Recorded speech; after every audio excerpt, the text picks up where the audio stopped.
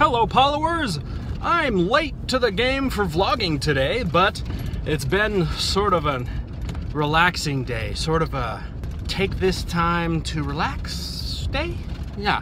The last three days we've been doing a film called Carthage, and it's a short film about Joseph Smith in the Carthage jail. You can go back and take a look at that with this link here. Right now, I am heading to Home Depot. The correct pronunciation is depot. I need to get myself a new tool bag for the filming.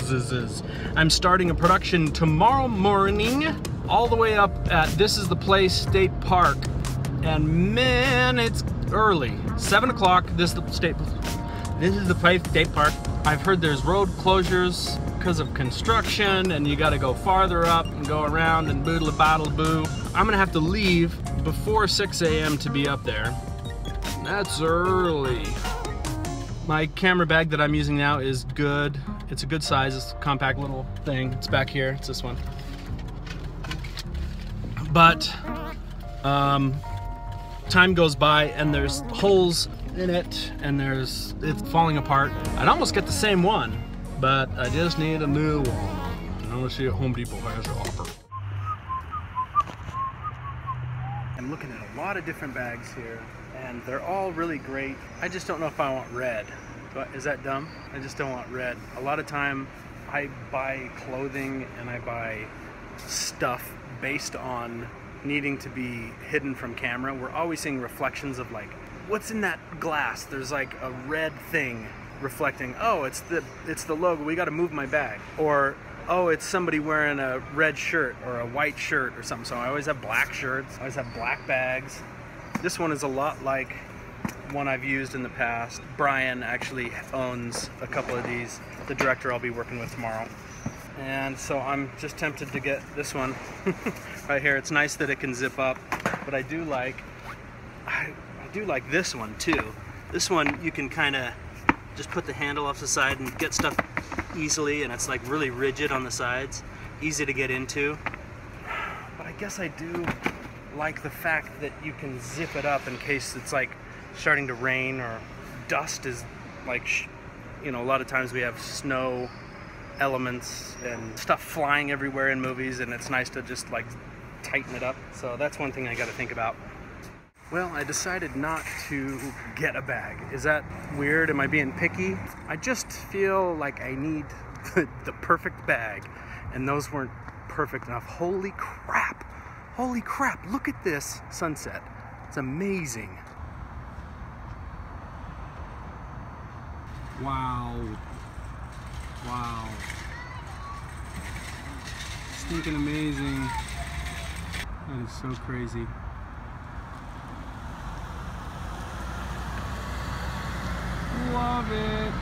Hi caramba. Does driving bug you guys as much as it does me sometimes? I got my lens that has some really crazy flashes going on. Oh, there we go. A good friend of mine teaches a class on awareness and self-defense. Her name is Brandy Vega. She's ex-military. She's very cool gal. She's done so much in her life. She's in film production too, and she's a camera operator. And she talks about the color codes. Now I don't know it perfectly because I would like to go to one of her classes, but she talks about it's something that I've known about but she puts it in a color code, which is really cool. And you have fight, flight, or freeze. Something happens in the moment where you either fight, you fight, or you just freeze like a deer in the headlights. And I've just noticed about driving that people kind of have a fight, flight, or freeze.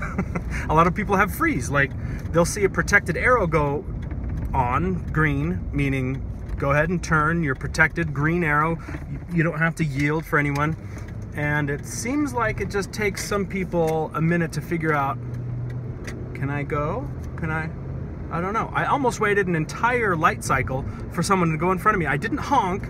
I didn't want to be rude and I mean I could have honked and it would have been justified but I just feel like sometimes it gets people their emotions wound up and it can cause a chain reaction that makes people excited and um, angry and maybe ruin their day.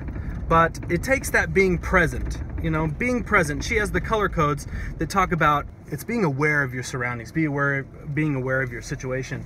And are you gonna just at every corner you're gonna be fighting? No, it's you want to be present. You want to be present and aware of your surroundings, and that takes a little focus on what you're doing. Right now, I'm trying to do two things: vlog and drive at the same time, which uh, I'm being hypocritical a little bit. However, being present of what you're doing, driving, and and not focusing on other things like vlogging is a good thing. So it's kind of like what I say and not what I do sort of situation. Let's see if I can fix my lens here. It's kind of, yeah. Just try to be present in your situations. Just aware. Just be aware. And you don't have to you don't have to be a prepper or or be crazy about what you're doing. Just kind of be present. Like right now, I'm gonna turn off my truck. It's not off, but I'm becoming present. I'm look I'm I'm not doing this now driving. Now I'm really seeing what's happening. Brian's over there. No other cars around. I don't know it's something I like to be is is just aware of my surroundings, aware, you know, and be ready for things that could happen, and not be being paranoid, but just being ready. okay, I'm here now, preparing the camera with a focus chart. Uh, I've noticed in productions previous, we were just a little off on our back focus. So what I'm doing is called the back focus, where I measure to a chart so basically I take measurements and if those measurements don't look quite crisp, I change a little setting on the camera where I tweak it and turn it and get it just sharp enough, just preparing for tomorrow. And I'm here at Candlelight Media. Okay, so I just tweak this little guy until I see that it's perfectly crisp and I've got it set at a, at a mark where it needs to be and I just turn this so slightly to get it right on.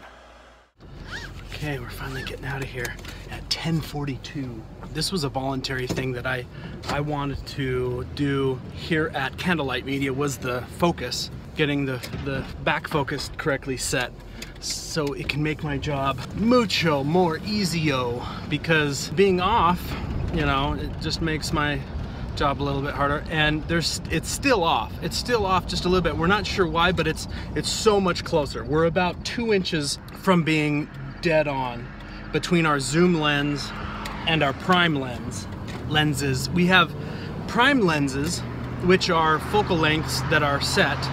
For you guys that don't know what prime lenses are, our zoom lens, you can go from a very wide angle to a very tight angle. You can zoom in and out with the prime lenses, they are set focal lengths. So they are, you know, we have a 24, we have a 50 and an 85. We don't have a lot of lenses, but that's what we have available to us for this show. Um, specifically because they are faster lenses. They're more sensitive to light. And basically we're, we're almost on, we're almost dead on with our focal lengths, but not quite. At least we're closer than we were on the last movie, which was not Cinderella's type. You can see that show at this link right here. Bling! Go check it out. Yesterday is history, tomorrow is a mystery, but today is a gift. That is why it's called the present. Thanks for watching. Become a Paullower by subscribing.